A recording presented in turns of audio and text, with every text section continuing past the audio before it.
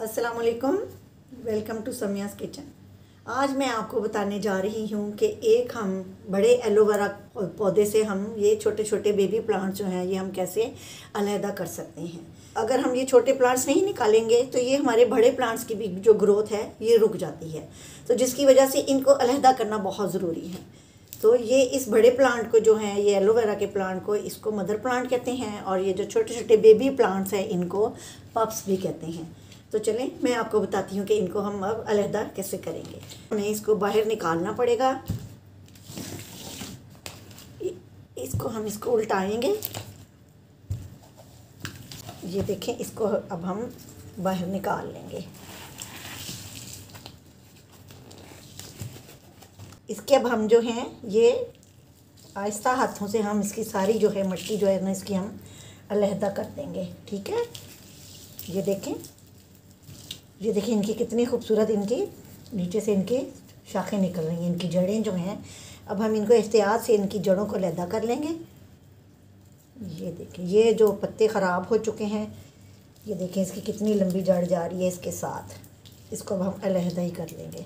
और ये जो हैं, ख़राब ख़राब से पत्ते, इनको हम नीचे से अलहदा करेंगे, ठीक है? इसी तरह हम जी सारे इनको अलहदा कर लेंगे। इसी तरह हम जी सारे इनको अलहदा कर लेंगे। ये हमारे बहुत से, देखिए, माशाल्लाह, ये बहुत से हमारे छोटे छोटे प्लांट्स हमारे इकट्ठे हो गए हैं। अब हमारे पास पीछे ये मदर प्लांट जो है, ये हमारा, ये हमारे पास है। इसके भी हम ये जो पत्ते सूख गए हैं, इनको हमने अलहदा कर देना होता है। अलहदा गमले में इसको सेट कर देंगे। इसके बाद हम इसकी बराबर कर लेंगे मिट्टी। और इसके दरमियान में से थोड़ा सा हमने इसको सुराख कर लेना है। ताकि मदर प्लांट को हम इजी से सेट कर सकें। ये जगह मैंने बना ली है। अब ये इसको हम, ये जड़ों समेत हमने इसको इसके अंदर सेट कर देना है। इसको कोशिश करनी है कि ये सीधा सीधा ही रहे। ये देखें, ये ऐसे। अब ये इसके अंदर हम ये फालतू मिट्टी इसके अंदर मैं बाकी डालूँगी ताकि इसका बैलेंस कायम रहे। इसको थोड़ा सा दबा देंगे। और और अगर मिट्टी की ज़रूरत हो तो हम इसमें और मिट्टी भी डाल सकते हैं। इसको बराबर हमने ऊपर तक लेके आना है।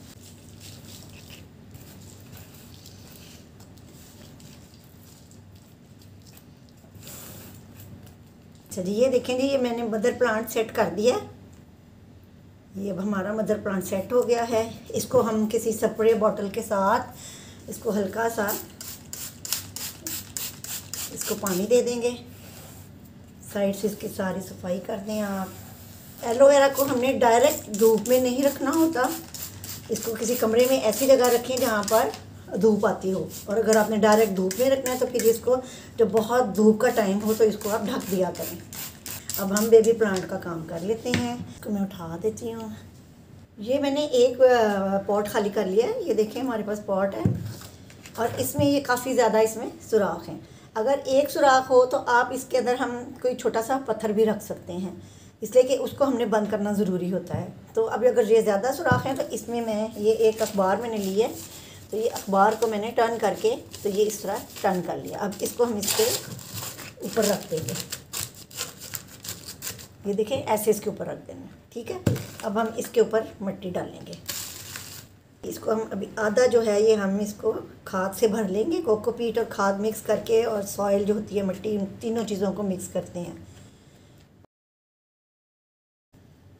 थोड़ा सा पुश करेंगे और हल्का सा इसको हम स्प्रे के साथ इसको हम थोड़ा सा पानी दे देंगे।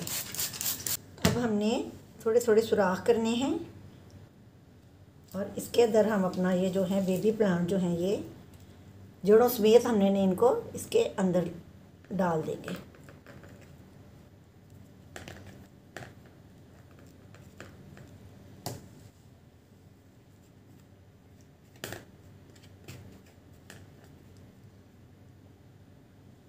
एक थोड़ा सा फासले पे सुराख करेंगे।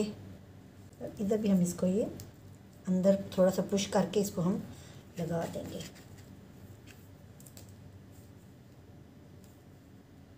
बेबी प्लांट जो है, कोशिश करें कि सीधा बिल्कुल इसको खड़ा होना चाहिए। ये देखें इस तरह। और इधर भी इसी तरह एक हम गहराई करके तो इसको हम लगा देते हैं। ये इसके अंदर, इस तरह इसके अंदर हम ये खड़ा कर देंगे। और अब ये जो बाकी खाली जगह है, ये इसको हम मिट्टी से भर देंगे। अब जितने भी इसमें थोड़ी सी जगह, अगर आपके पास बड़ा पॉट है तो आप उसमें थोड़े थोड़े फासले पर ज़्यादा भी लगा सकते हैं। ये हमारी